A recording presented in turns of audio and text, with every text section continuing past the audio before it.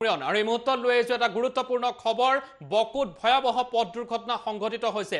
Truck আৰু বাইকৰ সংঘৰ্ষত দুগৰাকী ব্যক্তিৰ কৰুণ মৃত্যু হৈছে। আৰু এই মৃত্যুৱে চাঞ্চল্যৰ সৃষ্টি কৰিছে। শোকৰ চাহ পেলাইছে সমগ্ৰ অঞ্চলতে। অকালতে প্ৰাণ গ'ল দিগন্ত ৰাভা আৰু সঞ্জয় বড়োৰ।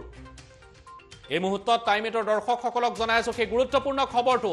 ভয়ানক দুৰ্ঘটনাই প্ৰাণ কাহিনীলে দিগন্ত আৰু সঞ্জয় বকুৰ ৰাজাপাৰাত নিশা ভয়ানক দুৰ্ঘটনাত নিহত হৈছে দুয়োগৰাকী যুৱক। ট্ৰাক আৰু বাইকৰ ভয়াৱহ সংঘৰ্ষত নিহত।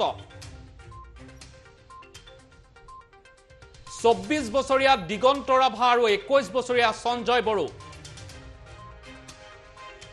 দুয়োৰে ঘৰ বকু বন্দাপাৰা দুই নম্বৰ জলাধাপৰাত।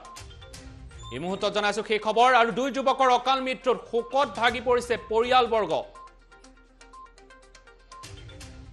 আৰু কি পৰিস্থিতিত এই ভয়াৱহ দুৰ্ঘটনাটো সংঘটিত হ'ল সেয়া স্পষ্ট হোৱা নাই।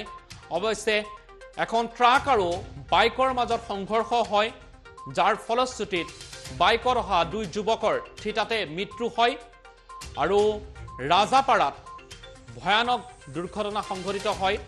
আৰু যিখন বাইক দুৰ্ঘটনাত পতিত হৈছে সেই বাইকখন সম্পূৰ্ণৰূপে চূৰ্ণ বিচূৰ্ণ হৈ পৰে।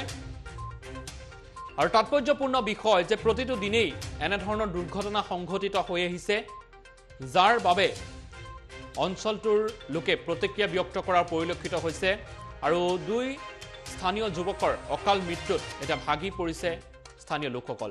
ব্যক্তিগৰা দুগৰাকীৰ নাম হৈছে এগৰাকীৰ নাম হৈছে দিগন্ত ৰভা আনগৰাকীৰ নাম হৈছে সঞ্জয় বড়ো।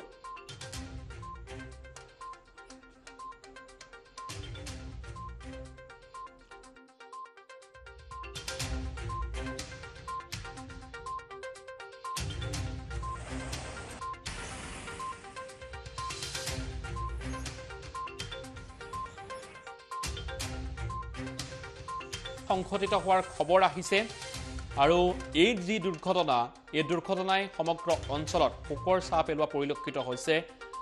দুগৰাকী উদীয়মান যুৱক সঞ্জয় ৰাভা ক্ষমা কৰিব সঞ্জয় বড়ো আৰু দিগন্ত ৰাভা এই দুয়োগৰাকী সৰবৰহী যুৱকৰ মৃত্যুত শোকৰ চাহ পেলাইছে সমগ্ৰ অঞ্চলত।